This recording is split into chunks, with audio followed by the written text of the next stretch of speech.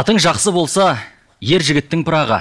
Балаң жақсы болса жан мен тәннің шырағы деп төле би бабам айтқандай балаң ата ананың бауыр еті көз қуанышы. Ертеңгі үміт атар тұяқ басары.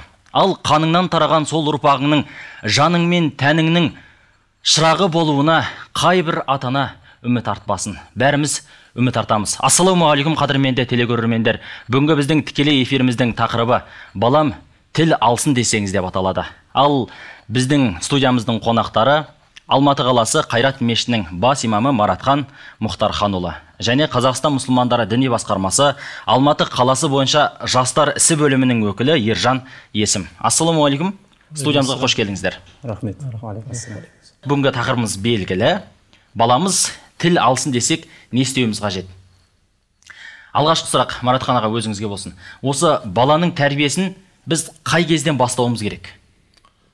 Рахмет. Ә, жақсы сұрақ қойып отырсыз. Әлбетте бұл баланың тәрбиесі үлкен маңызды мәселелердің бірі. Осы бағдарға байланысты.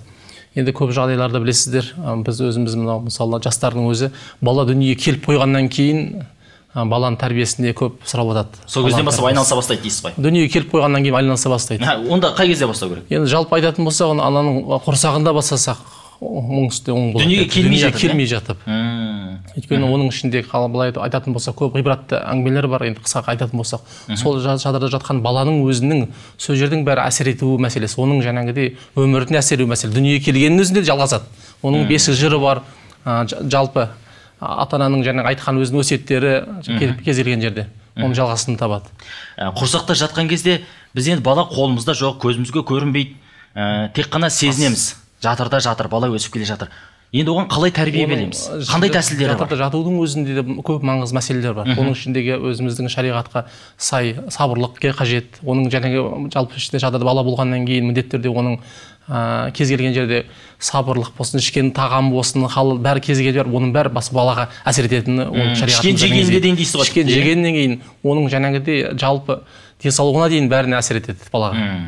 Жақсы. Кейбір ата аналардың жаңағы құрсақта ә, сәбиім бар деп құран тыңдап ә, жақсы жақсы уағыз насихаттар тыңдап жақсы кісілермен араласып дидарласып тұруының бәрі- өзі сол балаға әсер балаға етеді әсер сөз, иә қандай керемет иә? Енді біздің қазақ ә, шынымен де сол баланы сол құрсақта жатқан кезде тәрбиеледі деген ойдамыз. Ал енді ә, ержан мырза осы баланың тәрбиесін неден бастауымыз керек? Бисмилля альхамдулилля ассалату вассаламу аля расулилля мінекей жаңағы сұрақтарыңызға бұл өте мәнді де мағыналы сұрақтар. Және де жауап беру әркімнің қолынан келе бермейтін сұрақтар. Әркім ізденетін сұрақтар. Маңызды сұрақтар. Маңызды сұрақтар. Себебі ә, байқасаңыздар интернет желілерінде де басқа жерлерде де ә, мақалалардың көпшілігі балаға қандай тәрбие беру керек? Балаға тәрбие берудегі өсиеттер деген Бала болашағы дейсіз ғой. бала болашағы деген тақырыптармен өте көп мақалалар. Ол өте көп жазылуының себебі талап та оған өте көп. Ә, мына үш нәрсені орындап алу керек дейді. Үйленбестен бұрын балалы болмастан бұрын жақсы ана таңдау. Мм. жақсы ана таңдау. Себебі бала ә, ер адам түздің адамы. Сол себепті бала бірінші кезекте ол ананың қасында болатыны баршамызға мәлім. Сол себепті кімнің қасына балаңызды тастайсыз? Иә. Осы нәрседен бастаған жөн. Баланың тәрбиесінде балаңызды кімнің тәрбиесіне тастамақсыз? Бірінші әкенің баланың алдындағы міндеті демек тәрбиедегі Жақсы ә, ана әкелік жақсы ана таңдау. Екінші жақсы ат қою ол солай міндеттер ә, кете береді. Міне осы нәрседен бастаған жөн. Ал дүниеге келгеннен кейін бала жаңағы бекерден бекер айтылмаған анаға қарап қыз өсер әкеге қарап ұл өсер деп. иә. демек анасы өзінің аналық мейірін және әке әкелік ә, мінезін көрсету арқылы бала осыдан тәрбие алады. Яғни ер, ер адам ер мінезді әйел адам әйел мінез- мінезді болатын болса тәрбиенің басы жақсы басталады. Олай болмаған жағдайда ә, кімге еліктейді бала? Иә. иә соған соған байланысты ары қарай өзгере береді дейсіз осы бір тамаша иә, бір сөз бар Аха, екен. жақсы қосарыңыз бірде пайғамбарымыз саллаллаху алейхи вассаламның өзі бір, айт, бір адам келеді ғой. Сөйтіп бір адам келіп екі жасар баласы бар екен. Сонда Иә. пайғамбарымыз саллаллаху алейхи вассалам алла кісіге разы болсын. Мен осы тәрбиені балаға қарап айтқан екі жыл кешігіп қалған екенсің деп. Мм. екі жасар баланы алып келген бе еді және бір әке келіп екі жастар баласын алып келіп тәрбиелеуге соны тәрбиелеу мәселесіне алып келген ғой. Жасына қарап екі жыл кешіккен екенсің қараңыздар. Соның өзі тәрбиелену мәселесінде. Жаңа жоғарыда айтып кеткендей бір бала әкесі баласы айтады екен мен саған көп жақсылық істедім деп. Сонда әке сіз маған қандай жақсылық істедіңіз? дейді. Сол кезде саған жақсы ана таңдадым дейді. Мм. қараңыздар жаңа жоғарыда сауалға туындап отыр. Соның өзі жаңа тәрбиенің өзі анадан басталу мәселесінде жақсы. Енді осы кезекте біздің қазақ ә, бірінші бала жаңағы баланың немересі ата ата әжеге немере. Ә, сол ата мен әженің қолында болу керек дейді. Әлбетте. бірінші немере атаның мен әженікі деп өздеріне жаңағы меншіктеп алады. Осы сол бала жақсы тәрбиелі болып өседі деп сенеді. Осы қаншалықты шындыққа жанасады осы рас па? Енді көп жағдайларда жас семья алғашы неке құрғаннан кейін ол үлкенін беріп жатады ғой. Неге не себептен былай қарап отырсақ жас, жас отбасы құрғаннан кейін қанаты қатпаған әлі.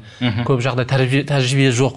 Өйткені тәжірибені бар аналар біледі. Соны әжелеріне беру сал- беру себебі де содан. Бір жағынан кішкене қанаты қағылып жаңа тәжірибе жиналсын деп сол жердің жаңағыдей ананың әлдеймен әженің ертегісімен өсіп бала жатса бисмилля тұрса бисмилля.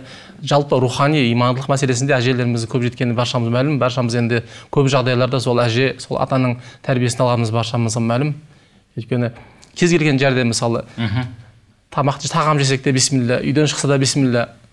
Әрбір іс бастасаң әр істі бисмиллямен баста деп оның бәрі өзіміздің әже- әжелерімізден аталарымыздан дарыған баршамызға мәлім. Мхм. көп естіген емес көпті көргеннен сұра дейтін қазақ осыдан ғой иә? Енді осы кезекте ержан мырза ә, балаға жақсы ат қою оның келешегіне қаншалықты әсер етеді? Жаңа жоғарыда айтқандай әкенің екінші міндеті осы жақсы ат қою екен. Себебі алла елшісінің ә, сөздерінде мынандай сөз бар. Атаудың затқа тигізер үлесі бар деп.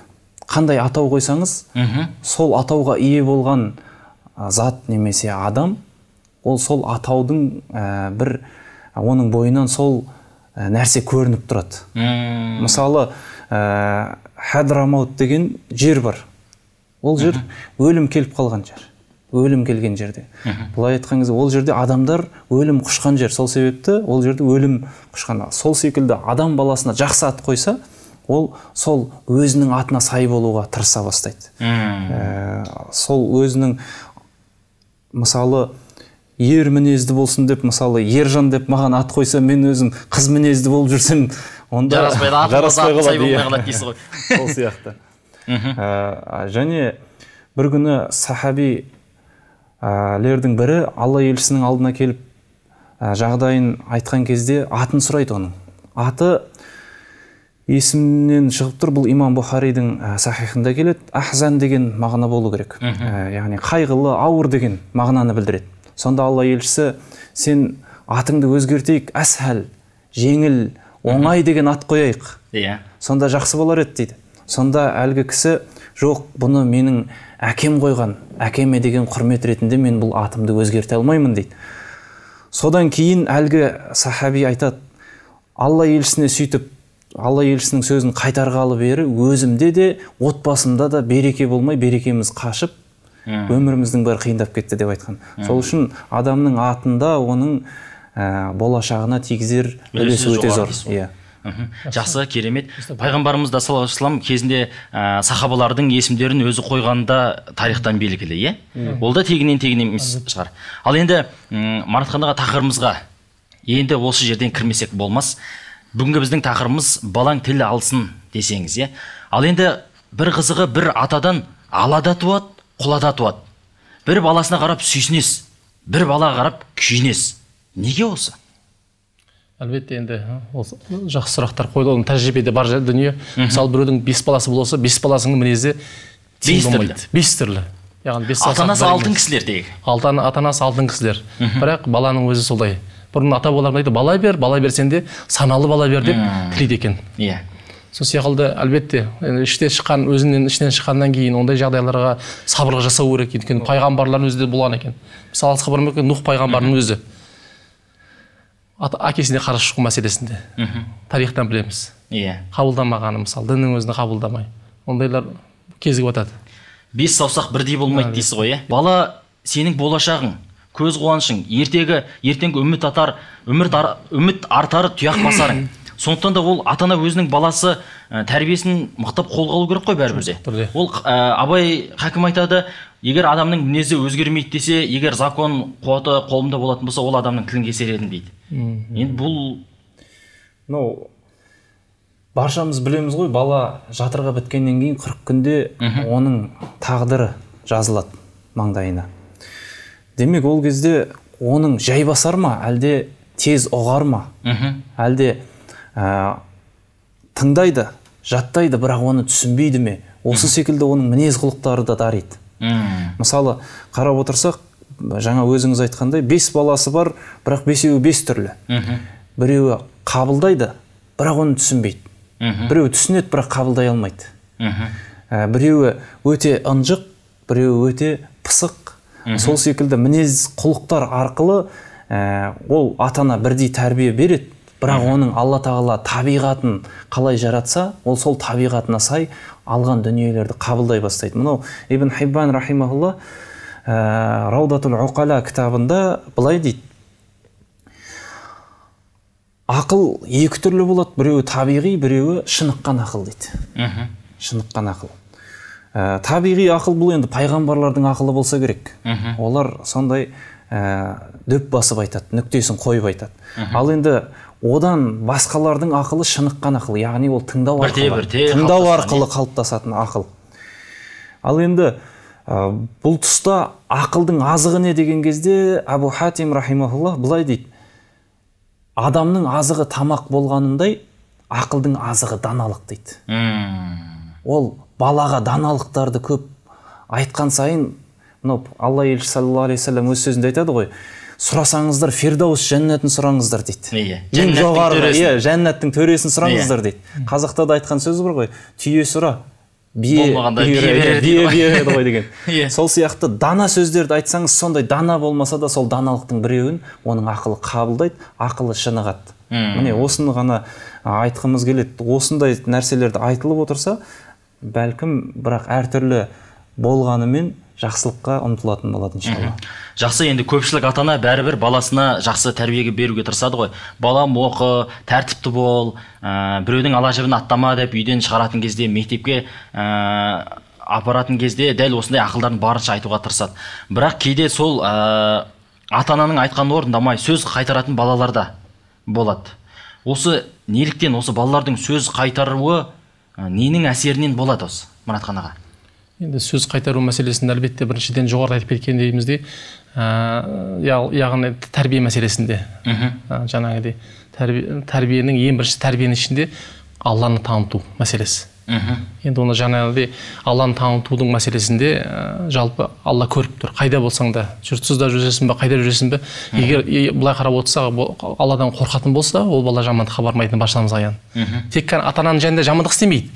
Бірақ шыққаннан кейін жаңағыдай бұзықтық істеп жатқан қылықтар кезігіп жатады иә. Бірақ сондықтан да біз айтарым жаңағыдей кез келген жерде сол біз ихсан бойда өзіміз ата ана болмаған жағдайларда құдайдан қорықпағаннан қорық дейді. Сондай сезімге баланы оятуымыз керек. Мм сонда ержан мырза ә, біздің табиғи біздің ішкі дүниемізде бар ма сол?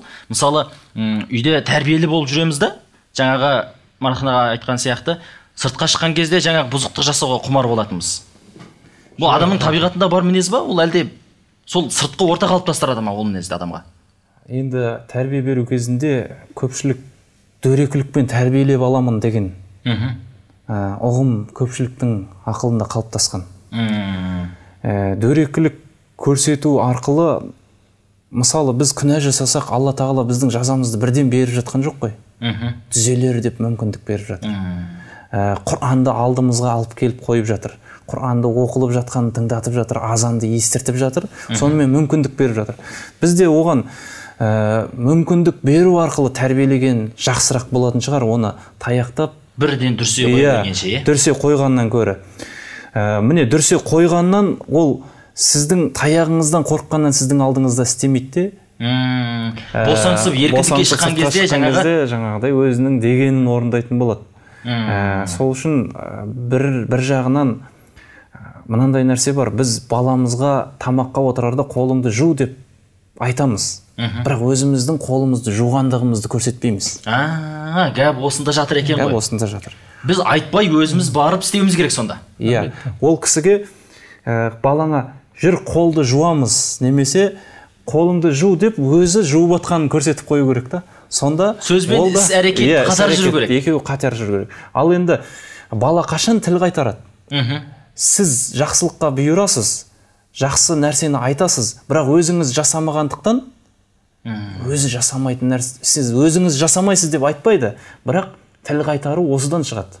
Сіздің бойыңыздан сол нәрсені көрмегендіктен. іштей қарсылық туады дейсіз ғой. Иә іштей қарсылық иә? туады. Е өзі неге жасамайтын нәрсені неге менен талап етеді деп. Мм. содан тіл қайтару шығады. Одан кейін ә, көп жағдайда ә, тіл қайтару мәселесі ата ана соған лайық емес. Мхм. Ата ана соған лайық емес оның мінез құлқы. Ә, біз дүние тіршілігімен айналысу арқылы өзіміздің бойымыздағы қасиеттерімізді жоғалтып алып жатамыз. Жоғалтып мынау шайтан қатты айқайлаған дейді алла елшісінің дәуірінде. Сонда жындардың барлығы жиналып келіп ібілістен не болды? деп сұрағанда бүгін аят түсті. Адамдар өзінің күнәсін мойындап тәубе етсе алла тағала кешіреді екен дейді.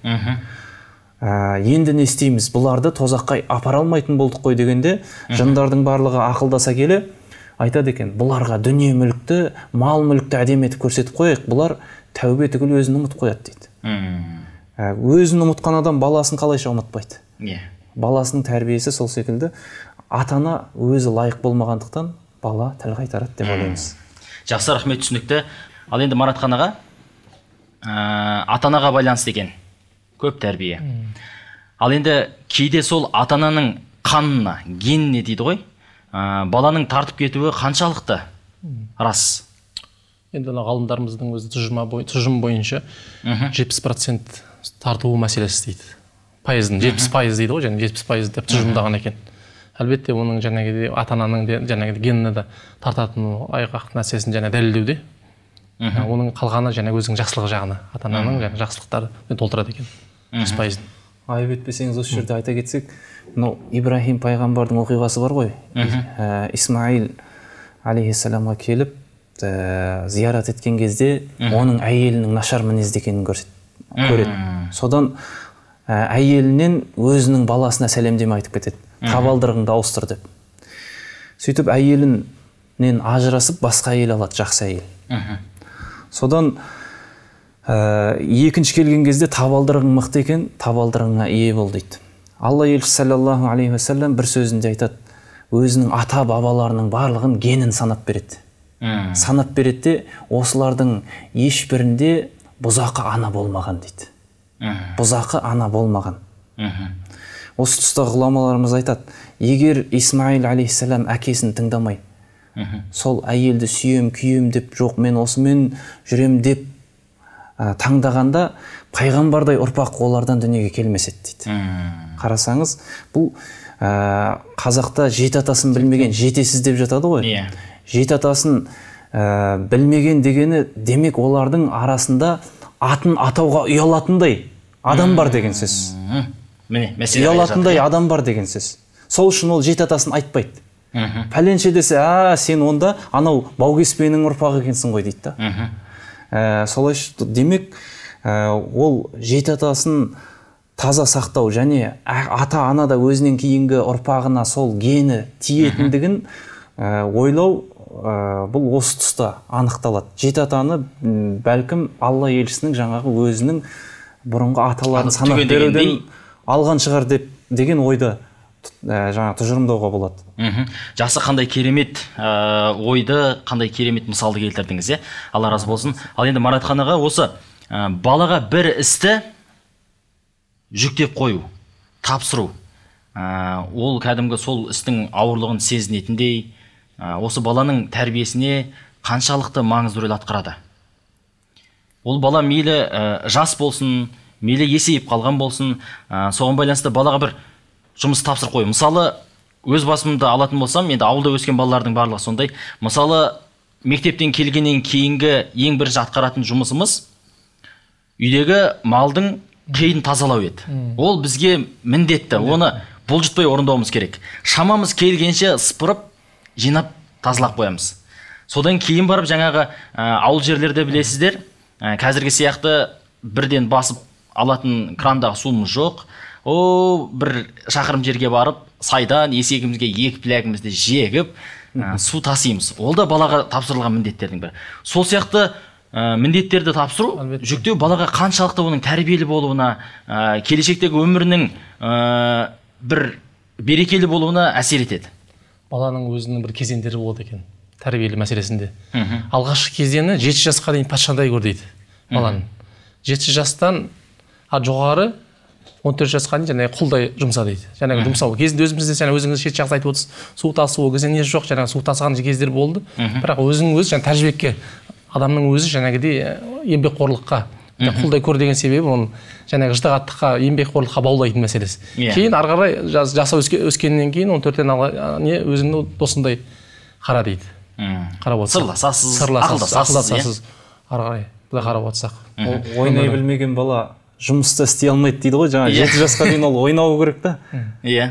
Ойнап үйренген бала ертең ә, мынау кішкентай істі атқара алмаған бала үлкен істі атқара алмайды. Сол үшін ақсақалдарымыз айтқан екен ана баланың ойнап жүрген кезде ойнап жүрген кезде басқаларға сол ойынын ұйымдастырып жүрген кезде баланың болашағын соның ойынына қарап бағалаған екен да. Мына балада бір нәрсе Иә, бар. бір нәрсе бар деп иә. Иә. ол жаңағы жеті жасқа дейін ойнамай жұмысқа жегіліп қалатын болса ертең жеті жастан кейін жұмыста істей алмай қалады. Жалығады дейсіз иә өзінің ә, жаңағы ағамыз айтқандай кезеңіндегі істі атқара алмаған болса. Мхм. Жақсы. Жаңа өзім мысал келтіріп кеттім ғой ауылдағы балаларға а, артылатын жауапкершілікті айттым. Ал енді қалада өсетін балаларымызға жаңағы су тастамайсыз ә, қорадағы малдан қиын шығарта алмайсыз ауланы сыпырта алмайсыз кей жағдайда. Ал енді қаладағы балаларға қандай бір жауапкершілік артуға болады? Сіздерше кез келген жерде мысалы ол жұмыс табылады ғой. Ол мейлі жер үйде тұрсын мейлі қаз қазыналды кез келген жерде жұмыс табылады. Кез келген жерде қазір көп жағдайларда ә, бір мәселе жас- ата ана мен баланың арасында кішкене қиындық туып жатыр рухани мәселесі таяз болып жатыр да жетіспейтін жағдай. Көп жағдай та- таңертең кетеді ата ана кешке келеді баланың киім бүтін болса болды көп жағдайда елден қалмаса болды дейді бірақ көп жағдайларда ол бала кіммен не айналыспауда ол кіммен жаңағыдей байланысты сол жағда кетіп кемшілік болып жатады сол жағдайларда мысалы қарап отырсақ соны қатты бақыласақ дұрыс болатын сияқты әсіресе интернет мәселесінде. Көбі бала мысалы түк істемей жарайды телевизорға отырып алса ол да болмайды. Жұмыс табылады істеймін десе. Бірақ ата ана тапсырма беріп кету керек. Осылай жаңағыдей үйдің шаруасы болсын қандай бір жағдайда болсын алысқа бармай ақ қояйық баланың өзінің алға қойған мақсаты бар. Елбасымыз айтқан білімді бол- болашақ жастарда да білімді болу үшін де қанша білім алып уақытын алса да жаңағыдей бос отыру мәселесінде көп жағдайлар жаңағыдей бос отырмауға тырыстыру керек баланы. Сол міндетті келгеннен кейін қадағалау керек. Міне берген тапсырманы орындадым ба? Жаңағыдей оның есебін алып тұратын болсақ иншалла берген тапсырмаға міндетті түрде есеп алу керек алу керек. есепсіз болатын болса ол әй өткенде сұрамады бүгінде сұрамайтын шығар деп оны орындамайды соған баланың өзі иә? соған бейімделіп кетеді. Мм, жақсы түсінікті. Ал енді ә, ержан мырза осы балаға ә, жауапкершілікті артуды жаңа ғана айтып өттік иә ол баланың қалыптасуына өзіндік бір ә, әсері бар. Ал енді ата ананың бала ата анаға баланың сөз қайтаруы тілін алмауы ә, немесе бір ә, айтқанын орындамай қоя салуы ол балаға қаншалықты зиян біздің ата анаға қарсы шығуымыз.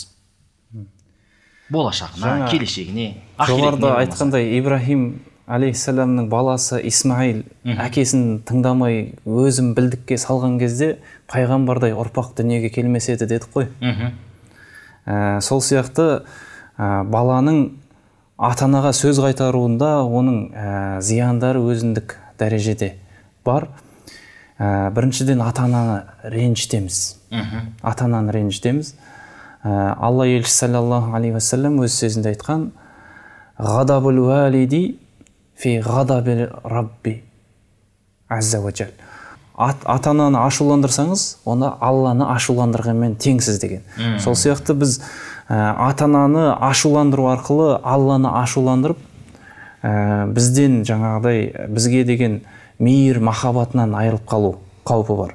Сол үшін ә, жаңа айтып жатырмық қой бірінші кезекте бұл ата ананың міндеті баланы өзіне қарсы шықпайтындай етіп тәрбиелеуі өзінің міндеті. Осындай зияндары бар енді. Мхм. Жақсы. Енді ә, егер біз ата анамызға қарсы шығатын болсақ алла тағала ашуланатын болса онда бізге келейін деп тұрған бақ пен байлық бізге келейін деп тұрған кәдімгі ә, жақсылықтар жолы кесілді бөгелді деген сөз ғой онда. Әлбетте оны жаңа соны толтырып кетейін жолыңызды сөзіңізді. Көп жағдайларда мысалы мешітке де келеді. Осылай естиді неден естиді ме екен сауат сауаттың несі сауатсыздығынан шын- шынымен ба екен? Жолымда осылай бір құран оқытып бір бір дұға жасап қойсаңыздар жо- жолым болмай жүр деп. Осы бір ай бұрын ғана бір бауырымыз келді мешітке. Атын атамай ақ қояйық бір бауырымыз келіп осылай мен бір құран оқытайын деп едім жолым болмай жүр. Үйленгенсің бе? Жоқ үйленген емеспін бойдақпын дейді.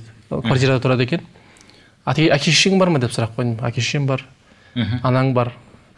Ақырет қашан сөйлестің десем осы мейрамдарда бір хабарластым арамыз араларыңызда қандай десем арамызда кішкене бір салқындық бар дейді. Қараңыздар. Осы тақырыпқа байланысты. Сөйтіп айыпқа бұйырмасаңыз қазір анаңызға звондаңыз сол жерде хал жағдайын сұраңыз мен имамның алдында отырмын сіз дұға үшін келіп отырмын. Бір дұға құран оқытайық бір дұға жасайын деп алланың үйінде отырмын деп бір звондаңыз деп. Сөйтті әлгі бала ә, анасы жаңағы зайсанда екен звондады анасы анасы ар жағынан дауыс шықты. Сөйтіп бала сөйлесе алмады барып сөйлесіп қалыңыз қалай мама ана қалым жақсы мен осылай имамның жанында отырамын деп деді арға сөйлесем мен мен маған беріңіз трубканы мен сөйлесейін деп телефон алып менің есімім марат хан болады осылай мешіттің имамымын балаңыз келіп отыр дұға ниетімен деп. Ә, кешіріп қойыңыздар артық кетіп жатса балаңызды. Жоқ жоқ өз баламын ғой деп сөйтіп ар жағынан ә, анасының дауысы шықты. Бала жылап жіберді ана жерде. Сол да сөйтсем екеуінің араларында жаңағы келіспеушілік жағдай болған екен. Әлгі баланың иә өкпе болған. екен. Әлгі бала мен айтамын сенің жолың бір алла тағаланың разылығы. Және жолымызда айтып едім. Алланың разылығы ата ананың разылығы алланың разылығында ата ананың ашуы алланың ашуында деп пайғамбар хадис айтқан. Жәннат ананың табан астында. Ананы сыйлау арқылы біздің жолымыз ашылады. Бұл дүниеде де ақыретте де. Мынау бір өмірден алған өмірде болған оқиға бізге өмірлік сабақ сияқты екен. Шын мәнінде ә, біздің жолымыздың болмауы жаңағы басшымыздың бізге дұрыс қарамауы болмаса келейін деп тұрған нәрсенің келмей қалуы ата ананың бізге деген ренішінен болуы мүмкін екен ғой сонда. Мүмкін екен. Ал енді пәленшенің баласы осындай балам. Сен неге сол сияқты болмайсың? Анау сөйтіп жатыр мынау бүйтіп жатыр деп тәрбиелеу қаншалықты дұрыс? Келесі сұрақ ондай болып жатады мысалы. Міне көршінің сәкенің көршінің баласын қар сен болсаң міне әлі бір күрек көтере алмай жүрсің жұмыс істемейсің жатасың деген сияқты көп тиісіп жатады Иә. сен жаңағыдей көп ол енді қазақы тәрбиеде бар. Иә оны айтып жатады иә кез келген. Бірақ біз шама келетін болса баланы баспауымыз керек екен. Керісінше баланы көтеруіміз керек. Көп жағдайларда сол ғой. Ана бала ешқандай ата ана баласына жамандық тілемейді. Баласын неғұрлым жақсылық дейді бірақ дегенмен де мысал келтіріп жақсы жағына келтіруіміз керек екен. Сен бала бірнекке шығады. Сен жаңағыдей мықты боласың.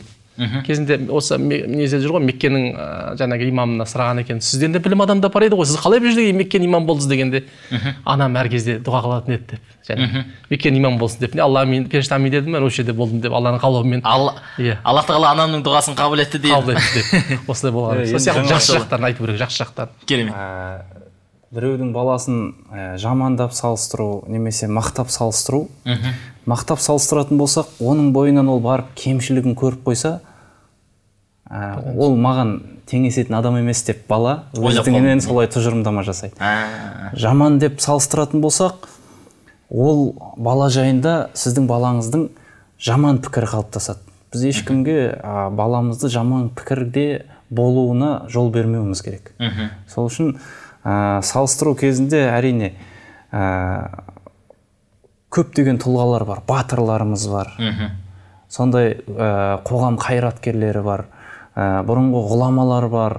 Соларға салыстырып сондай болып аламын деп ә, әрине өз деңгейінде ертегі ретінде ғұламалардың өмірін жаңағы сізге немесе бізге айтқандай емес оның ә, миына иә деңгейінде ертегі ретінде айтып беретін болсақ ә, бұл бір нәрсе алдымызға біз мақсат қоймасақ мысалы алла елшісі саллаллаху алейхи вассалам бізге дінді үйреткеннің өзінде намаз оқысаң мынандай сауаптар бар. Мынандай сауапты іс істесеңіз алла тағаланың алдында мынандай сауап бар деген секілді сүйіншілеп отырды.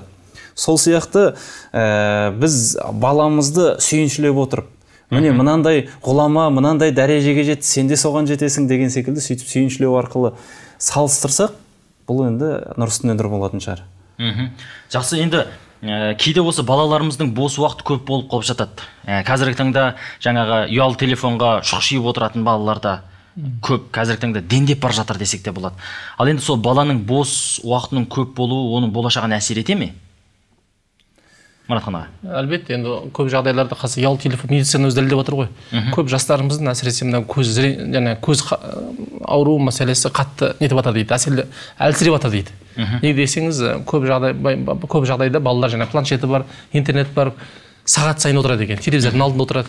Соның өзінде ана адамның көзінің мышцалары шаршап адамның нетеді екен шектен шығу мәселесінде кез келген жерде жаңа жоғары айтып кеткен көрсетемейміз. Ата анаға өзі өзінің бір белгілі бір мөлшерлерін белгілеп қойса тәртіппенен жаңағыдей шектен шығып кетпейтіндей. Сонда сол дұрыс болады деп ойлаймын өзі өзім пікірім алла елшісі а, али радиаллаху анхудан болған немерелерін фатима анамыздан болған немерелерімен оларға ат болып ойнайды ғой. Иә ат болып ойнайды. Бізде шынында осыдан бір 15 жыл бұрын біздің жас кезімізде Иә. қарайтын болсақ ә, бізге ойнайтын уақыт жоятын нәрсе бар еді. Мхм. Бар еді. Жұмыс уақыты ол кезде де 8 сағат 10 сағат еді. Қазіргі қазір де сондай. Иә. Бірақ бұрынғы ата аналар балаларға көңіл бөле алды қазіргілер бөле алмай жатыр. М, мәселе бөле алмай жатыр. енді ә, бұл жерде ата ананы кінәлап жатқан жоқпыз. Ә, жаңа дүниеге берілу ғой бір жағынан. Алла тағала баршамызды ол дүние тіршілігінің жаңағы уайымынан сақтасын әрине. Бірақ енді баламен ойнасақ баланы өзінің жаңағы телефон планшет андроидтарға отырғызып қоятын болсақ ол адаммен сөйлесу секілді Қарым-қатынас жасау. қарым қатынас жасау секілді қабілеттерден айырылып қалады. Қабілеттерден айырылып қалады. Ә, бұрынғылар уақытын бөліп сол қабілеттерін аша білді қазіргілер ашпай жатыр. Мхм. Ә, бұрынғыларда сегіз сағат Балам жыламаса болды. Ә, шаршады қазір шаршайды шаршау үстінде шаршап жатыр. Сол үшін балаға жаңа жыламаса болды деп жаңа өзімен дербес бір мемлекет қылып қоюға болмайды. Олармен ойнап олармен айналысып олармен сөйлесіп мысалы бала екен деп ой түсінбейді деп қарауға, бол, қарауға болмайды. Бала болса да онымен сөйлесе біліңіз. Сөйлесіңіз. Тілі ашылғаны сізге жақсы ғой. Иә. Тілі ашылып ертерек оқи білген ертерек жаңағыдай тақпақтар жаттап немесе құран жаттап деген сияқты. Сол олармен сөйлескен пайдалырақ ертең жаңағы жоғарыда айтқанымыздай кішкентайында ойнай білмеген бала жұмыс үлкейгенде жұмыс істей алмайды дедік қой. Сол сияқты кішкентайында оның сол өзінің деңгейінде сөйлесіп ата анамен қарым қатынас жасамаса ертең ол өскеннен кейін де адамдармен қарым қатынас жасай алмайды. Сол үшін де мынау пайғамбар саллаллаху алейхи вассалам айтқан ғой ә, тума туыстық қарым қатынасқа бекем болыңдар қияметке иман келтірген болсаңдар дейді. Және бір сөзінде жебірейіл алейхисалам маған соншалықты өсиет етті көршінің жағдайын.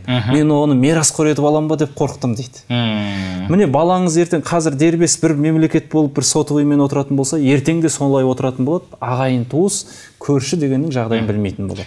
Сіздерге қойған бір сұрағымнан ә, бір ой бір оқиға есіме түсіп отыр.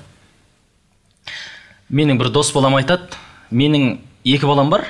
Біреуі жаңағы тұңғышым ата анамның қолында ал екіншім өзімнің қолымда.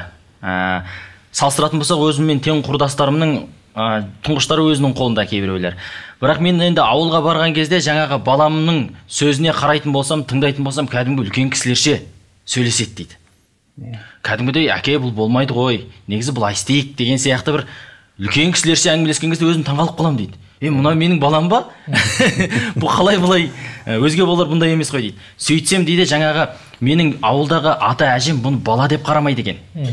Кәдімгі адам саналы ұрпақ ә, бұған бұлай сөйлемеу керек. Кәдімгі адамдарша ересек адамдарша сөйлеу керек. Тұлға бала тұлға ретінде өзін қалыптастыра бастаған сол сөздерден кейін. Шынымен де біз баламызға кейде ә, бала ғой деп оның сөзін елемейміз ақылдаспаймыз. Бала мынау қандай деп өзіне бір қызығушылық танытатындай сұрақтарды қоймай жатамыз осымыз дұрыс емес сияқты шынымен де өмірдің өзі көрсетіп жатыр.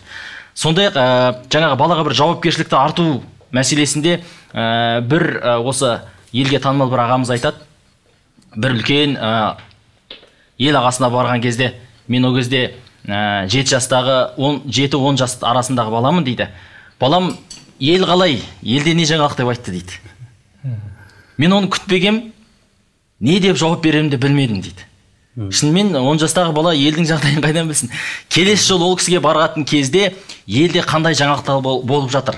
Біздің ауылда біздің аймақта не өзгерістер болып жатыр? Соның барлығын біліп одан кейін барып ол кісіге ә, баратын болдым менен сұраған кезде жауап берген кезде кәдімгідей марқаятын болдым дейді. Солай солай мен дағдымайланды ол менің өсуіме өркендеуіме бір септігін тигізді дейді. Шынымен де біздің ә, қазіргі қоғамдағы ата аналардың болмаса ел ағаларының балаларға сондай тәрбие беруі бұл ұрпақтың өсуіне деңгейінің көтерілуіне бір септігін тигізеді екен шынымен де иә?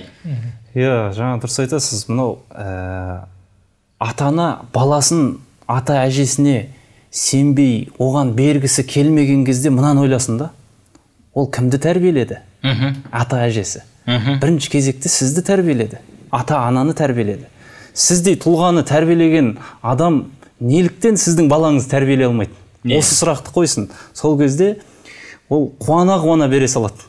Ата әжесіне ата әжесі мынау ә, олар пенсияда болады ә, қылатын қызметі жоқ үйде зерігеді анау бала ғой баланың қасында. иә бала. Ә, содан кейін жаңағы айтқандай оған тұлға ретінде сұрақтар қояды. Шынында ә, баланы бала деп ә, сіз өз дегеніңізді оған орындата беретін болсаңыз ол өзінің дегенін орындата алмай қалады. Яғни ертең ол өзі тұлға ретінде жаңағыдай өзін қоя алмай қалады. Сол үшін оған ә, сізден кәмпит сұрады ма? Оны не істейсің деп сұрақ қойып қойыңыз кейде кейде.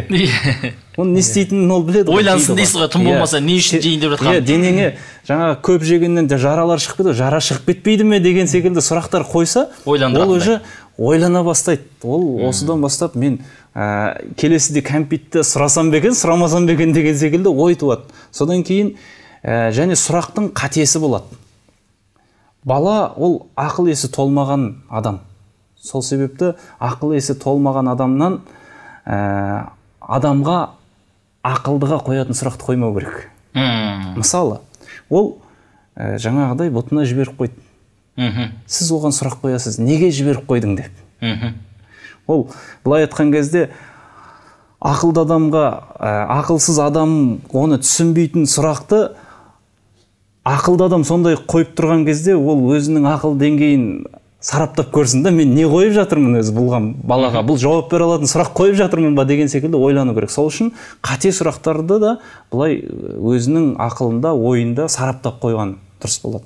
Жаңағыдай кәмпит неге керек жара шықпай ма саған деген секілді сұрақтар ол дұрыс деп ойлаймыз. Кейде ә, балалар бір қателік жасаса бірден тиіп ұрсып тастаймыз. Ә, шынымен де сол балаларға бірден ә, дөрекілік танытпай мүмкін оның жағдайына бір кіру керек шығар. Әлбетте бұл жайында пайғамбарымыз саллаллаху алейхи вассаламның уақиғасын айтып кетуге тура келіп тұр. Бірде пайғамбарымыз саллаллаху алейхи вассаламнан бір жас баланы алып келеді. Жәнегідей ә, рұқсатсыз бақшаға кіріп ә, құрма ағаштарын алған.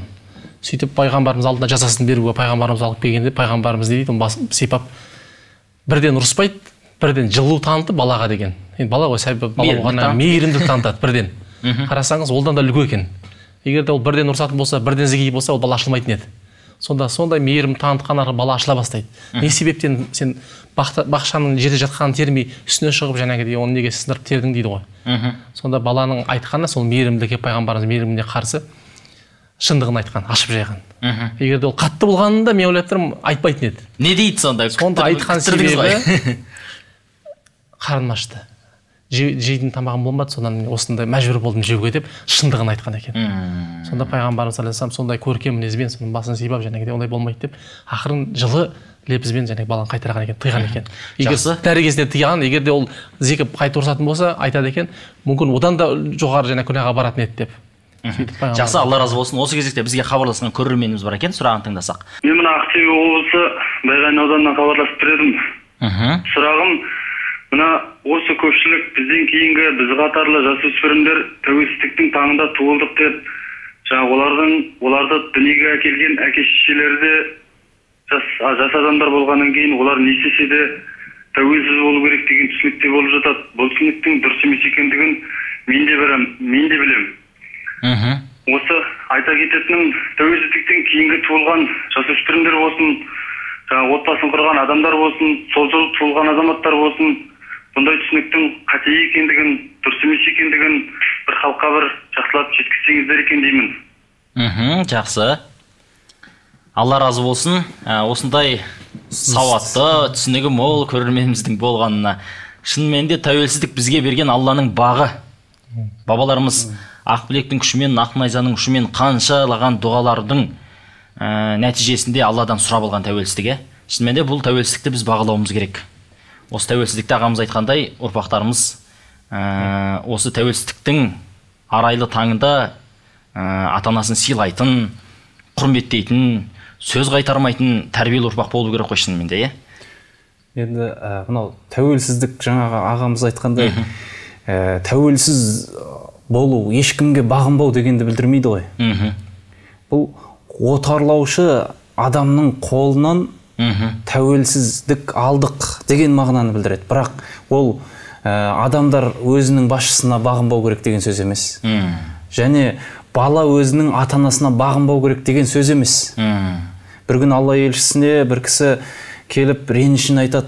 Менің ә, жаңағы бір кісі келіп менің ата анам менің мал мүлкіме қол сұғып жатыр деп ренішін айтады. Мхм. сонда ата анасын шақырып неге өйттіңдер? деген кезде біз оған сондай ә, мейірімділік танытып осы күнге дейін жеткіздік. Бірақ қажет болған кезінде қажеттілік шегінде ғана мен оның дүниесінен алдым деген екен. Сонда алла елшісі ашуланып жаңағы жігітке қарап сен де сенің мал мүлкің де ата анаңа тиесілі деп айтқан екен. Сол үшін біз ә, тәуелсіздік деген кезде бір мен жеке ә, дара, жеке жеке бойсұнбауым керек деген түсінік емес дейсіз ғой. деген сөз емес. Сол үшін мынау ә, қазақта бекерден айтылмаған «Ба- қартайғанда бақытты болам десең балаңды иманды етіп тәрбиеле дейді. Сол үшін баламызға имандылықты үйретіп қойсақ ол өскенінде мен тәуелдімін мен сіз менің малыма тимеңіз мен сіздікіне тимеймін деп кетпейді ондай. Иә.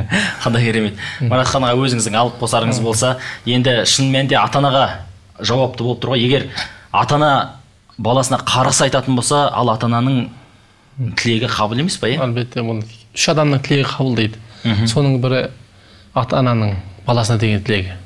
Көп жағдайларда жаңағы ата ана балаларымыздың тіл алмай жатады. Көп жағдайларда біз бір ұтымды жағдай мен жастарға айтатын жағдай ата ананың батасын алып қалу керек. Сол кезде иншалла екі дүниенің бақытына жетеміз. Үшеуіне бір екіншісі не екінші жолаушы үшінші жаңағыдай зұлымға ұшыраған адам дейді. Иә. Жақсы керемет. Ал енді осы ә, баланы не болса содан кейде тиіп тастаймыз. Ей ол дұрыс емес олай істеуге болмайды. Ә, саған бұлай жасама деген сияқты ә, сұрақтар бар. Осы баланың қызығушылығын ә, шектей беру қаншалықты дұрыс ол балаға қаншалықты әсер етеді? Осы сұрақты сізге қойсам ержан мырза. Бірақ бұл сұраққа жауап, бер, жауап, жауап бермей тұрып көрерменіміздің сұрағын тыңдап алайық. Мен астана қаласынан хабарласып тұрған едім кішкентай інім бар. Біреуі алтыда біреуі үште екеуі де әлі сабаққа бармайды. Мхм. олар күннен қарға кешке телевизорда көріп отырады сол. Телевизор бос уақытын қалай өткізуге болады кішкентай балаларға арналған медресе или нелер бар ма? Үйірмелер. Жақсы рахмет. Бауырым түсінікті. Тағы да бір көрерменіміздің сұрағы бар екен. Тыңдасақ. Мен мына асыларынан үнемі көріп тұрамын. Мхм. Иә қазір астанада балам жұмыстап жатыр. Осы балам келіп қайта мен ақыл айтамын. Басыңды құрап ал екінші осы үйдің жағдайын жаса деп. Оған менің балам менің өзім ақыл айта береді. Сонда менің ақылым дұрыс па жоқ баламның ақылы дұрыс па осыны көркем түрде Жақсы, рахмет. жақсы аға рахмет. Түсінікті сұрағыңыз алла разы болсын. Ал енді алғашқы сұраққа маратхан аға өзіңіз жауап берсеңіз. Алғашқы сұрақ енді жаңағы көп мәселесінде жастарды уақытын үнемдеу мәселесі енді қазір қарап отырсақ қазақстан мұсылман діни басқармасының мейлі қала болсын аудан болсын ауылды жерлерде болсын. Әр жердің имамдары бар арнайы сауат ашу курстары жұмыс істелуде. Соны шама келетін болса қай жастан бастап қабылдайды? уақыттарын бөліп ә, үш жаста деді біреуі төрт жаста деді иә? жоқ мектеп алты жастан мектепке баратындай сол жерден келіп қабылдап нетсе болады ол міндетті түрде емес арасында жаңағы сауатын ашып имамға келіп таныстырып жаңағыдей кейін өсе бере ә, өзімен ары қарай бағдарлама жасай береді ғой. Жақсы түсінікті ержан мырза. Енді бағдарламамыздың аяқталуына да санаулы минуттар қалды. Қысқа нұсқа жауап берсеңіз әке мен бала бір біріне ақыл айтады. Негізінде ә, бала ақылды болса ол әкесіне ақыл үйретпейді. Әкесіне ақыл үйретпейді. Әкесі ә, ақыл үйренетіндей жерлерге апарып қыдыртып сондай адамдардың арасына апарады. Әке ол ақылды ғой оны көріп мен дұрыс істемей жүр екенмін ғой. Немесе жаңағыдай кө- көптеген фильмдер бар соларда. Сол үшін ақылды бала ә, кеше ғана мұрнын сүртіп жүрген әкесіне ақыл айтуы бұл әдепсіздік арсыздық болып есептеледі. Солай деп ойлаймыз. Жақсы алла разы болсын. Енді бүгінгі тақырыбымыз өте маңызды тақырыптардың бірі еді. Осы тақырыбымызға байланысты өздеріңіз жақсы ой пікірді білдірдіңіздер. Пайғамбарымыздың саллаллаху өсиеттерінен өнегелер көрсеттіңіздер деген ойдамыз. Ал енді біздің мақсат халыққа бір пайдалы іс жасай алу. Біздің айтқандарымыз иншалла ә, жастарымыздың көңілінен ой орын алып жатса және оң бағытқа өзгеріп жатса сіздердің жалпы ұстаздар қауымының имамдардың жалпы осы салиқалы ұрпақ тәрбиелеуге үміт артқан барша ұстаздардың бұл арман деп ойлаймыз иә? Ал енді біздің студиямызға келіп осындай ә, ойларыңызбен бөліскендеріңіз үшін сіздерге көптен көп алғыс білдіреміз. Алла разы болсын. алла разы болсын әмин қадірменді телекөрермендер бағдарламамыз осымен өз мәресіне жетіп қалды. Пайғамбарымыздың оған алланың игілігімен сәлемі болсын. Бір хадисінде әке баласына жақсы тәрбиеден артық мирас қалдыра алмайды дейді.